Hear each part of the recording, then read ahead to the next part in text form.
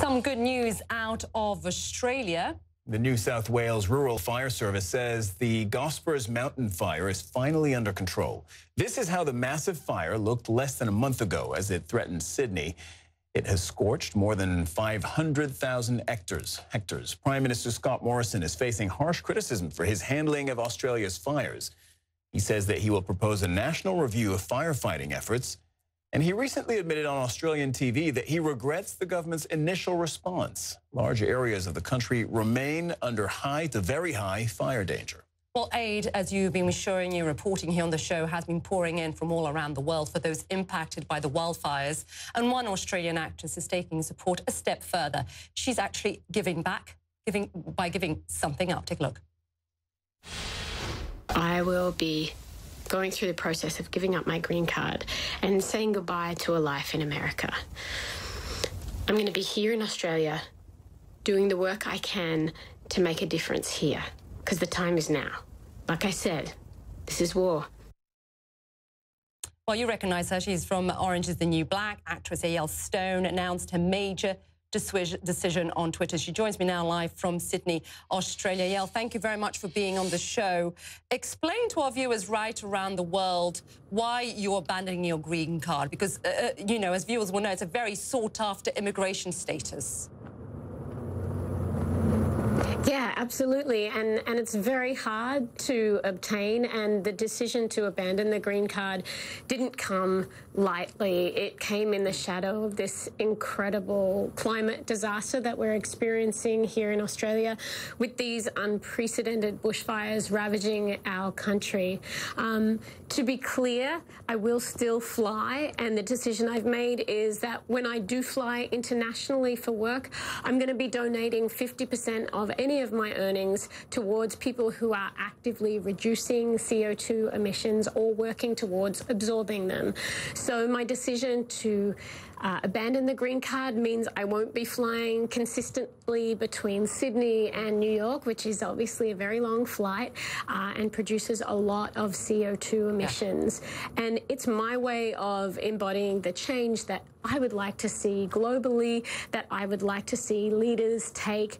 And, you know, obviously I'm one very small citizen in a very large and complicated process, but I've realized that I need to embody that change that I'm not seeing mm. in our leadership.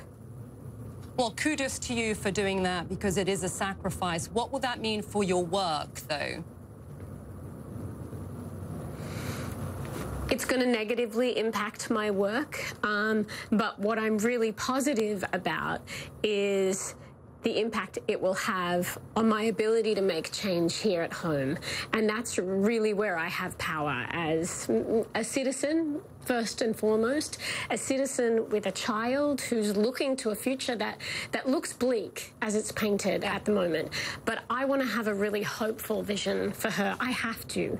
There's no alternative.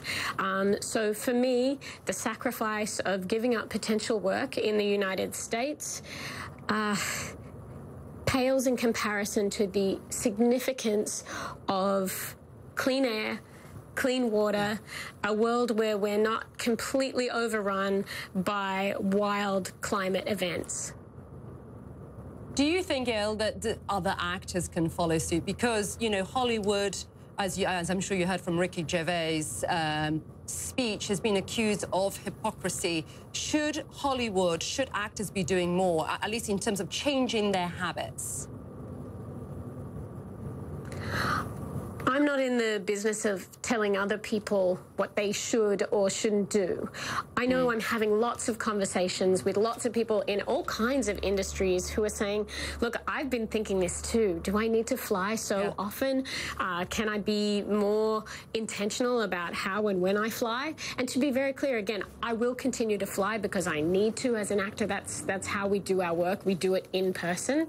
Um, but we can make statements like the one I've made, which is I'm going to donate 50% of my earnings towards things that really enact change and reduce CO2 emissions. Um, I think that if people are feeling that that inkling that there's something there that they could be doing more or being more thoughtful about how and when they fly, um, then they should follow that instinct. Uh, I think our personal behaviour does have a ripple on effect be it with our neighbours, with our parents, our friends, or with a huge social media following. Our actions have impact, and sometimes we feel powerless in the face of these huge calamities, and for good reason. But to come back Let to ourselves and say, okay, what can I do? How, how can I make that change? Yeah, we all have to start taking responsibilities for the world that we see around us and uh, the causes that it has had. You heard, I'm sure, Australian Prime Minister Scott Morrison basically saying he regrets his initial response to the fire. Take a listen and we can talk after that.